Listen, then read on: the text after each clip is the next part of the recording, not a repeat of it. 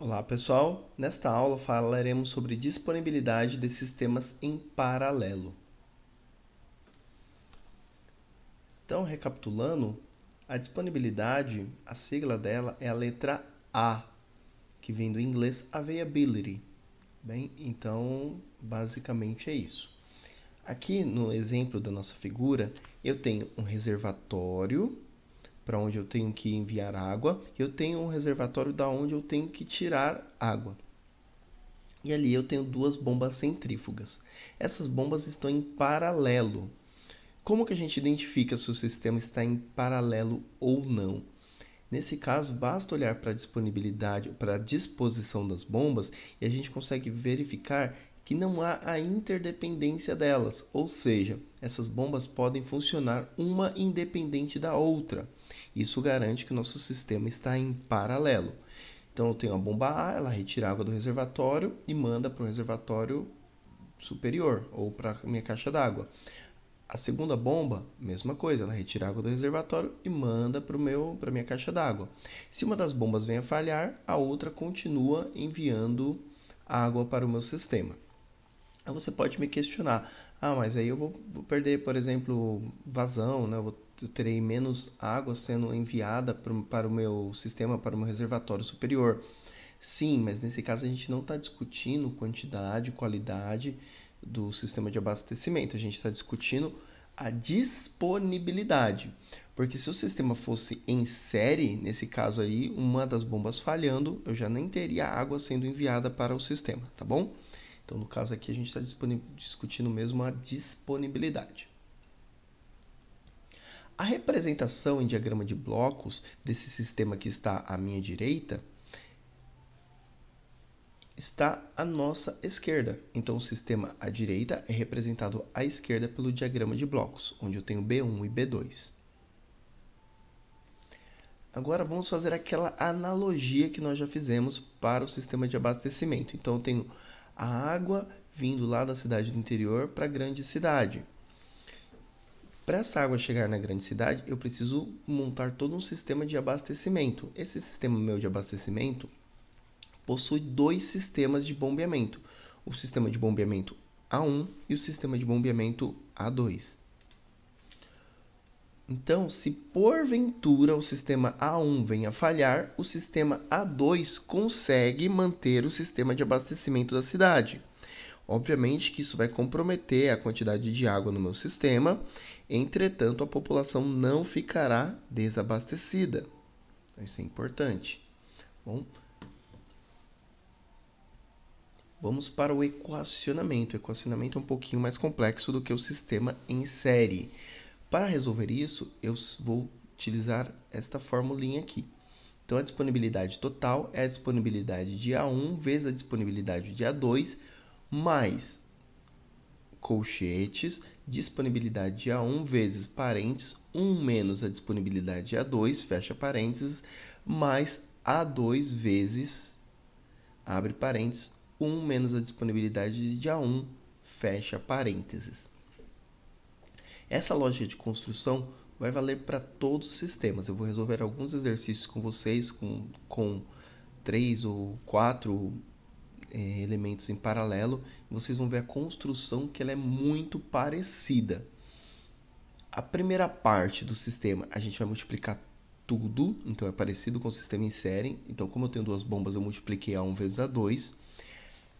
Aí eu venho com as outras partes. As outras partes, como que elas são resolvidas? Eu vou pegar um dos sistemas e vou multiplicar por 1 menos os outros sistemas multiplicados. Bom, aí eu vou pegar esse sistema, se eu já coloquei ele separado da primeira vez, na segunda vez eu vou colocar o outro sistema separado. Então é só a gente observar aqui, ó. Vamos lá, nessa linha onde está AT, eu pego A1 vezes A2 mais A1 vezes 1 menos A2. Percebe que nesse momento, aqui nessa primeira parte, o A2 está dentro do parênteses e o A1 fora. Só que agora eu preciso fazer o mesmo processo para quem? Para o A1 e para o A2 de modo invertido. Então agora o A2 fica fora do meu parênteses, o A1 vai lá para dentro e aí eu faço essa multiplicação. Vamos então resolver?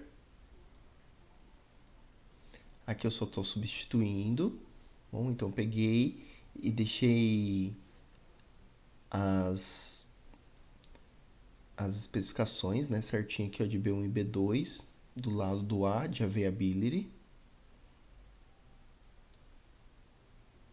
E agora eu coloco as considerações. Vamos considerar que a bomba, o sistema de bombeamento 1 tem 95% de disponibilidade e o sistema de bombeamento 2 90%. Considerando um dia de 24 horas, qual é a disponibilidade agora de água lá na cidade? E aí, antes de resolver esse exercício, já vou dar um spoiler para vocês.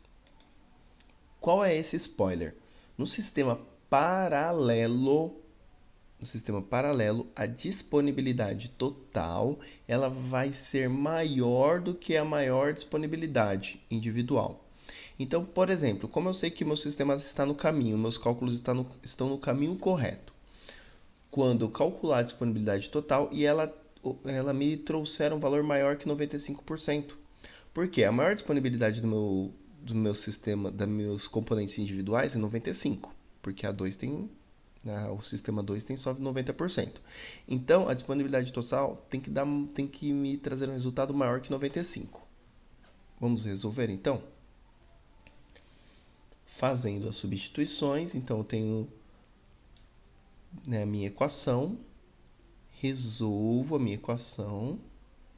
Então, A1 vale 0,95, AB1 vezes AB2 mais abre colchetes AB1 vezes 1 menos AB2, isso entre parênteses, mais AB2 vezes, abre parênteses, 1 menos AB1, fecha parênteses, fecha colchetes.